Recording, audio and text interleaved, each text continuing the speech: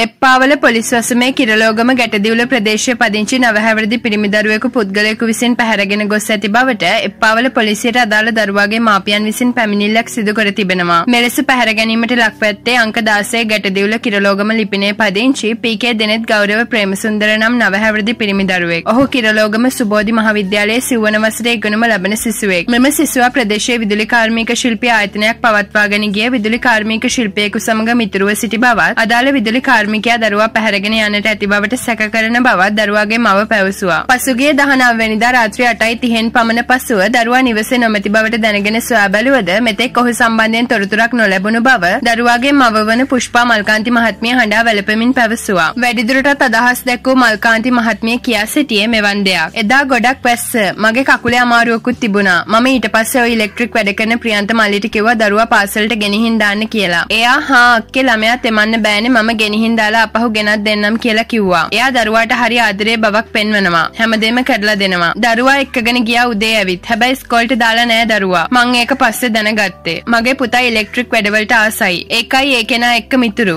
එයා එක්ක එකතු වෙලා මේ රේඩියෝව හදලා තියෙනවා. මට ඒ ප්‍රියන්ත කියන කෙනා කලින් දවසක කිව්වා සෙලින්කෝ එකේ තරංගයක් තියෙනවා. මෙයා ඔය හදන දේවල් එකට ඉදිරිපත් කළාම සහතික දෙනවා. ඒවට උදව් කරනවා කියලා කිව්වා. ඊට පස්සේ පහුවදා උදේ. ඒ කියන්නේ 19 වෙනිදා 6ට විතර මට කෝල් එකක් ආවා. දරුවාගෙන් විස්තර ඇහුවා. මේ උපකරණය කොහොමද හැදුවේ කියලා. පුතා ඒවට උත්තරත් දුන්නා. මට සැක හිතුණා ඒ කතා කළේ ප්‍රියන්තමයි කියලා. මට ඊට ටික වෙලාවකට පස්සේ ප්‍රියන්ත කතා කරලා ඇහුවා සෙලින්කෝ එකෙන් කතා කළාද කියලා. මම ඒ වෙලාවෙත් එයාට කිව්වා ඔයාගේ කටහඬ ඇහුනේ කියලා. මට කටහඬ මාරු කරලා කතා කරපු විත්‍යක් තේරුණා. සිග්නල් නැති හින්දා එහෙම හෙන්න ඇත්තේ. මං එන්නම් ළමයා ඉස්කෝලේ දාන්න කියලා කිව්වා. එයා කිව්වා තුනට කලින් සෙලින්කෝ එකට පුතා ඒ ඉලෙක්ට්‍රික් වැඩ කරන වීඩියෝ එකක් සෙලින්කෝ එකට යවන්න ඕනි කියලා. පස්සේ ඉස්කෝලට දැම්මා කියලා කෝල් එකකුත් දුන්නා. දෙකයි 10ට විතර පුතා එක්කන් ආවා කියලාත් කෝල් කළා. ඊට පස්සේ අර වීඩියෝ එක කරන ගමන් ඉන්නේ කිව්වා. හා කියලා 3:30ට ළමයා එක්කන් ආවා. ඊට පස්සේ පුතා ගෙට ගිහින් පන්ති යන ලෑස්ති වෙලා ආවා. ඊට පස්සේ යාම පුතාව පන්ති දාලා අපහු එක්කගෙනත් එන්නම් කිව්වා. හවස වහින්නත් වගේනේ කියලා කිව්වා. එයාගේ වෙනසක් මට තේරුනේ නැහැ. ළමයාට ආදරේට මේවා කරනවා කියලා මම හිතුවේ. 4:30ට විතර තමයි පන්තිය ගාවට එයා ගිහින් තියෙන්නේ. පන්තියට ගිහින් කියලා තිනවා ළමයා අද එන්නේ නැහැ. ළමයාට බඩේ අමාරුවක් ලබන සතියේ ඉඳන් එන්නම් කියලා.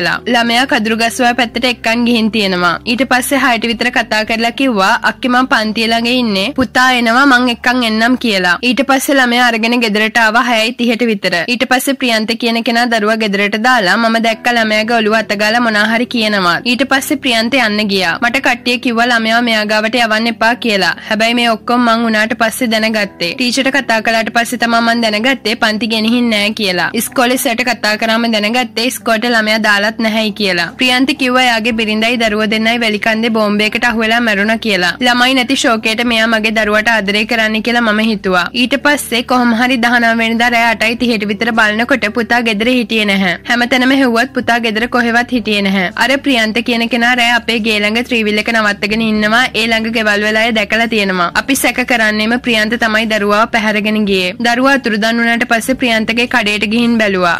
එයා හිටියෙත් නැහැ. අපි ඊට පස්සේ ප්‍රියන්ත පදිංචි තලාවේ ගෙදරට ගියා. එහෙත් නැහැ. ඊට පස්සේ අපි 119කට පැමිණිලි කළා. එප්පාවල පොලිසියට ගිහින් අපි පැමිණිල්ලකුත් ඉදිරිපත් කළා. තවම පුතා ගැන තොරතුරක් නැහැ. මම වැඳලා ඉල්ලන්නේ මගේ පුතාව හොයලා දෙන්න කියලා. මගේ පුතා අවසානයේට රතු ටී-ෂර්ට් එකකුයි දුමුරු පාට දිග කලිසමකුයි අඳන් හිටියේ. මෙම පැහැර ගැනීම සම්බන්ධයෙන් එප්පාවල පොලිසිය පරීක්ෂණ පවත්වයි. ඔයාලා තාමත් අපිව සබස්ක්‍රයිබ් කරලා නැත්නම් පහත බටන් එක ක්ලික් කරලා දැන්ම අපිව සබස්ක්‍රයිබ් කරන්න. ඒ වගේම පහත සීනුව ක්ලික් කරලා අලුතින් අප්ලෝඩ් වන වීඩියෝ එවලේම බලාගන්නත් පුළුවන්.